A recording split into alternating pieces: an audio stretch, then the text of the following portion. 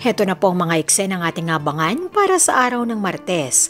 Magpapasalamat si Cherry kay Dave dahil pinagbigyan siya nito sa kanyang pakiusap na wag nang magpunta sa Amerika.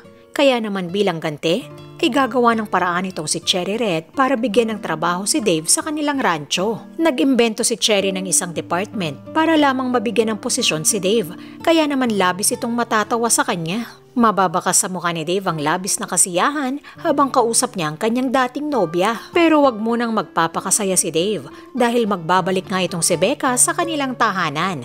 Tila magkakatotoo ang sinabi ni Cherry na kung tunay siyang mahal ni Becca ay babalik ito sa kanya. Sa tingin ninyo, ikatutuwa ba naman kaya ito ni Dave samantala Gagawin naman ni Cherry ang lahat para magkaayos ang magkakapatid na Estrella.